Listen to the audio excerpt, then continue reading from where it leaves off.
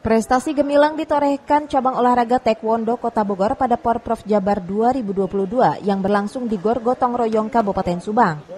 Main di laga perdana para atlet Taekwondo Kota Bogor berhasil menorehkan 5 medali emas, 2 perak, dan 2 perunggu.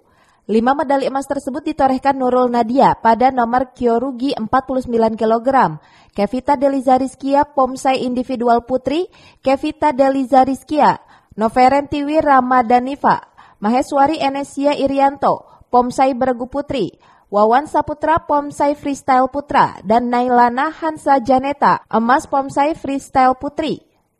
Sementara untuk medali perak diraih Muhammad Rizal Pomsai Individual Putra dan Muhammad Rizal Izat Muhammad Brilian Pangestu Linggarwangi Pomsai Beregu Putra. Medali perunggu dicapai Bilkis Awaliyah Kyorogi U53 kg dan Raja Ramadan Kyorugi U80 kg. Capaian 5 medali emas ini sudah melebihi target yang ditentukan yaitu 4 medali emas.